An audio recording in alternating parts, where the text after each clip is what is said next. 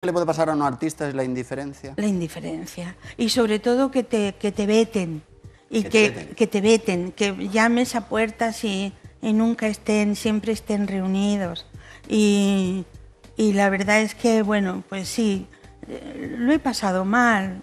Mm, pero he aprendido mucho.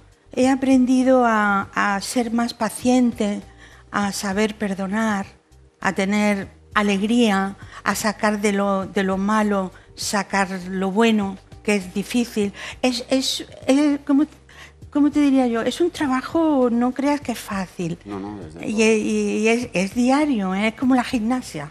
Eso tiene que ser diario para, para no decaer, ¿no? Para no- y sobre todo no caer en depresión, que es muy fácil mm, poder caer en depresión cada vez que te dicen, mm, no, ya te, ya te llamaremos.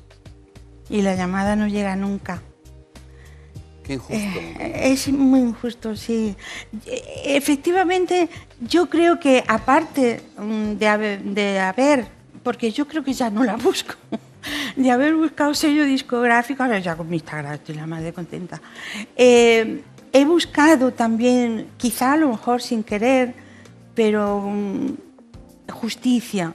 Creo que conmigo se, se ha hecho un, un silencio que no sé por qué, porque creo que no le he hecho daño a nadie conscientemente y si le he hecho daño a alguien pido disculpas, pero he cantado para, para pri- primero para ser yo feliz y después para hacer feliz a los demás, porque creo que, que la felicidad se vende muy cara. Bueno, e- e- el estar bien, el estar contento, se vende muy cara. Tenemos pues mucha mucha carga de, de penas y de problemas y de muchas cosas. Sí, de impotencia. y de- Impotencia. nos ha pasado.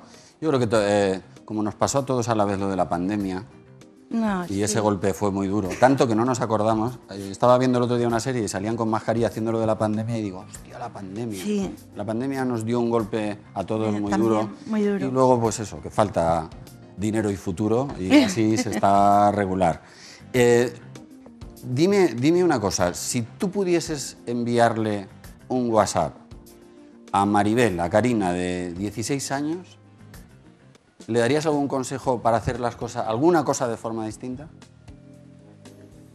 Ahora, eh, a Maribel con 16 años, Sí. Si tú le pudieses mandar un mensaje ahora para que ella cambia- cambiase un poco alguna cosa, no, ¿no? ¿La no, solamente le diría, sigue sonriendo con los pies en el suelo y la cabeza en el cielo.